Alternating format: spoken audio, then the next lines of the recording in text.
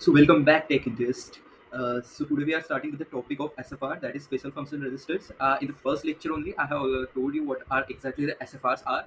Uh, SFRs are basically uh, the 8-bit registers uh, which are inbuilt or in a default in built in its processor only, processor of 8051. Uh, it is not present in internal RAM or internal ROM. It is a integrated part of the uh, processor itself. Okay, uh, for sort of thing because I get personally confused that SFRs are the something that registers that are present in internal RAM only, but that's not a point. I have clearly explained you in the first video. I think so, uh, first or second video.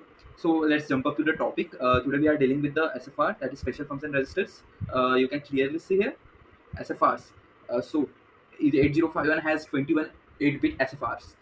So why the 21 number has been derived? I don't know why, but actually there are they, there are 21 registers, but they are not actually 21 because many of the SFRs are uh, bit addressable.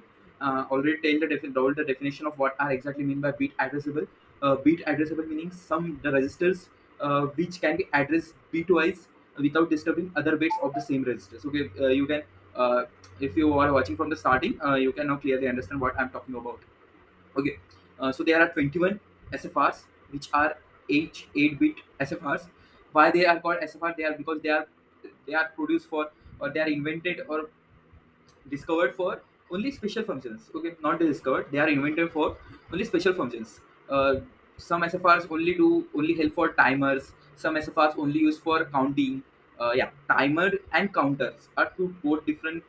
Actually, they are the same, but it depends upon the perspective of the person that are using. Okay, uh, it's used for the timers. It's used for the counters. It's used for the interrupts. It's used for the serial uh, serial uh, input output and it also used for the uh, normal input output ports that uh, we deals with when we have to attach some speaker or some devices outside the uh, to the our microcontroller okay so that time also sfrs are used sfrs are specially function registers because they are not such that general purpose they we cannot use for any purpose they are specifically designed for specific functions okay uh, so let's come up to the topic. So here you can see the list of uh, four uh, yeah the list of 21 sfrs uh, you can clearly see it. Uh, starting from um, not starting from uh, for an take a note take a screenshot of this table. We will come back to the table. Just first let's let's more understand about sfrs okay? You can clearly see it on the screen. Each F- sfr has its own special functions. I have already told you okay? They are placed inside the microcontroller yeah they are used by the programmer to perform special functions like controlling the timers i have already told you. As sfrs are available to programmer we will use them in instruction. Yeah. Yeah. If anything available to us uh, we especially i don't know about all other people around the world uh, around the globe uh, but we indians uh, whatever we get uh, whatever we get free from any mobile or anything uh, suppose uh, in mobile some some feature is there that we don't know how to use that but as it is given we are eagerly or we are urged indians uh, indians has that urge that it is free and we have to use that we don't know how to use it and how to benefit from it okay then also we use it because it is a free that that at that per at that correlate that as SFRs are available to the programmers, so they will use it. Okay. As they will use it, uh, the number of opcodes will be increases. So what is the exactly meaning of opcodes? Uh, I will explain you in a further topic where uh, I will deal with uh, some interrupts uh, because opcodes are related. Okay. So to reduce the number of opcodes, SFRs are allotted with the addresses. So what are addresses? As SFRs are 8-bit registers, uh, so we can give them 8-bit addresses. But uh, you might be thinking 8-bit address means 2 raised to power 8. 2 raised to power 8 means 256 locations. Okay. But coincidentally, okay, coincidentally, I'm not using this word, but coincidentally, uh, the internal RAM has addresses up to 0 to 128 locations. Internal RAM has 128 locations, coincidentally. Uh, starting from 00 uh, to ending up to uh, 7F H. Okay, you can clearly see starting from 00 to 7FH. Uh, so remaining 80H to FFH, that is remaining 128 bytes, remaining 128 location are allotted to SFRs. Uh, so this this does not build. This is not coincidentally okay.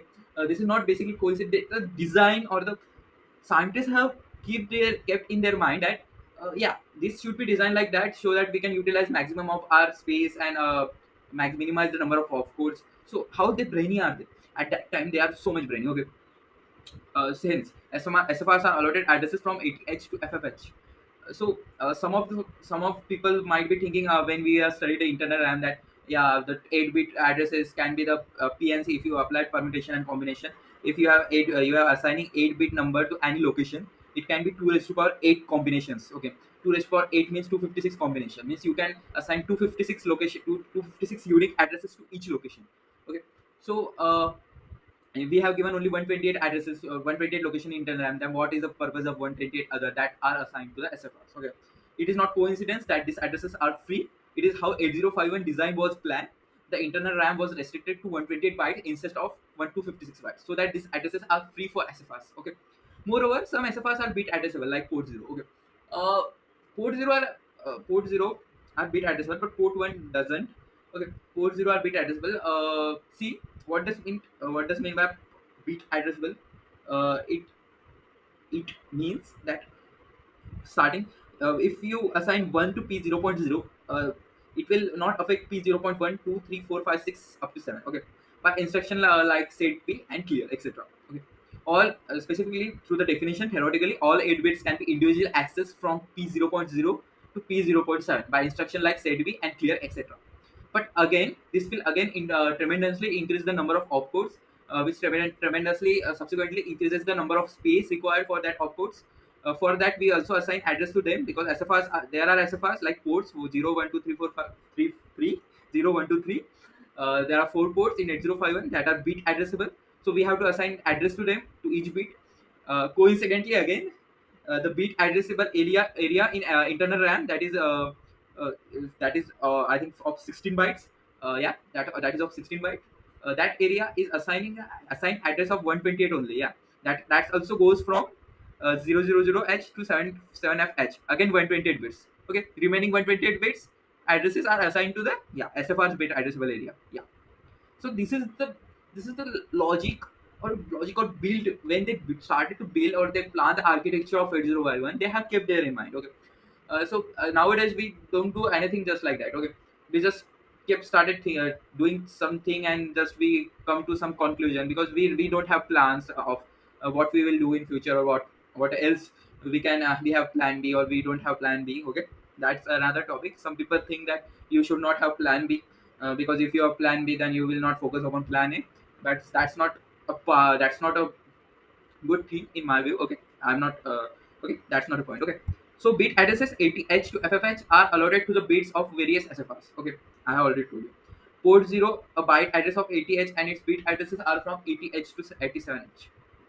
Port 0, byte address. Uh, okay, wait, I will tell you. This is a port zero. Okay, uh, here as star means means whenever there are a star or art, uh, you can see clear whenever there are star represented above the uh, at the index. Uh, uh, so it means that that SFRs are bit addressable. See. this A star means A is also bit addressable. This is also bit addressable. This is also bit addressable. Port 0 to port 3 is also bit addressable. Uh, SCON is also bit addressable. TCON is also bit addressable. These are the serial in port uh, SFR. These are uh, come across for uh, timer and counters. Okay, and this is the interrupt. This is also uh, and bit addressable. Okay, so port zero has an address A T H okay बस but P zero point zero मतलब P port zero zero का zero bit या port zero का zero bit has also an address of A T H port zero also has address of A T H but उसका जो port zero का zero bit है as we started from counting from zero in technical language so port zero का zero bit is also N 80H. Uh, address of that bit is also an 80H and port 0 address is also an 80H. Uh, so there there are no misconception or uh, there are not misunderstanding of processor because that this that it is not a human uh, like me, humans generally misunderstand uh, between and creates an creates an environment that is not good for any type of relation okay? so they do not misunderstand processor does not misunderstand for that they have separate syntax of instruction okay for uh, especially for bit uh, we use set a bit and clear a bit uh, especially for i have already told you in previous video especially for byte instruction we use add complement or add this type of things okay so let's move I have this cleared. If you have cleared here, it is also given a byte operation at address 80H will affect the entire port zero. Okay, you got it. Okay, you got it. This is an example. Move a comma p0. Here, uh, the value that is stored in port 0, the entire value of port 0 will get accumulate in accumulator. Okay. a beat operation at 80H will affect only P0.0, but a beat operation at 80H, this is a byte operation at 80H, it will affect whole port 0. But it is a beat operation at 80H, it will only affect P0.0. Yeah. Set a bit P0.0. What does this does? Uh, this do uh, the this do the set a bit means this uh, implement of one at P0.0. Okay, and that's all I can say. Okay, here we can uh, close the topic. This was a short shortest topic I have ever had. Okay, uh, thank you for your uh, concentration you had. Okay. Uh, there is a small request please like the video and comment something if you feel good or bad anything uh, it will just help me and boost my confidence okay thank you